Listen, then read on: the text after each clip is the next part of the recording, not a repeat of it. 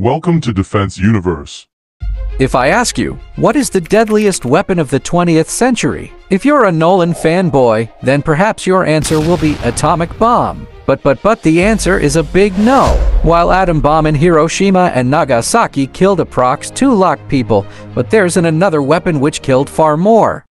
Yes, I'm talking about the legendary AK-47, or Automat Kalashnikova 1947. If you ask any gun lover about it, perhaps he will write a poetry about how it is easy light to carry, easy to use and reliability under harsh conditions, ranging from waterlogged jungles to Middle Eastern sandstorms. It was so good that its inventor, Mikhail Kalashnikov himself once said during the Vietnam War, American soldiers would throw away their M16 to grab AK-47 and bullets for it from dead Vietnamese soldiers. It is a gun which can fire 7.62 millimeters high velocity, 600 rounds per minute that can destroy the whole area of a human body. A K-47 is perhaps the most widespread firearm in the world. Carried by American enemies and allies alike since 1947, it is the standard infantry weapon for 106 countries.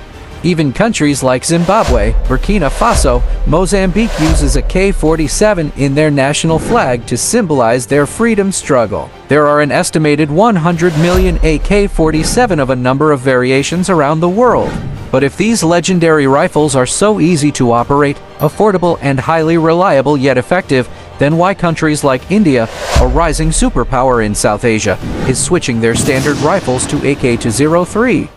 Historically, India is one of the biggest operator of AK rifles across all variant. In 1990, India adopted its indigenously designed and produced INSAS rifles for Army. INSAS was initially built with features borrowed from several different rifle and was not made to meet Army's specific requirement. This amalgamated design while serving the Army for over 30 years has started to fall behind the needs of modern warfare. In recent years, the rifle has come under increasing scrutiny, with several issues surfacing from frontline forces that have inhibited operational capabilities.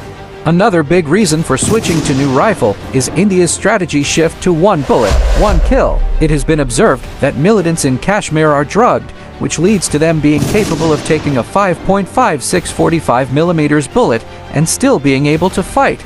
The issue with the existing AK-47 is Army can't use state-of-the-art scope on it, which is a basic thing in modern military. Also other flaws of the AK include the excessive smoke the AK emits when firing. This is not a good thing for a main combat rifle, where chances are it will be used for recon where keeping a low profile is absolutely needed. Also, experts have doubt about AK's accuracy problem. Due to these and growing threats of two-front war, India had first announced AK-03 deal in 2018. After a long quest for Indian Army's modern assault rifle and roadblocks over price negotiation, India and Russia have finally begun the joint production of AK-203 rifles at a factory in Amethi, UP in January 2023. More than six lakh rifles are to be manufactured in India for India's armed forces and this JV will also export AK-203 to other countries.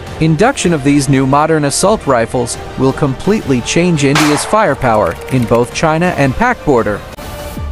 Now if you want to know why Chinese stealth fighter is a scam, then check out this video.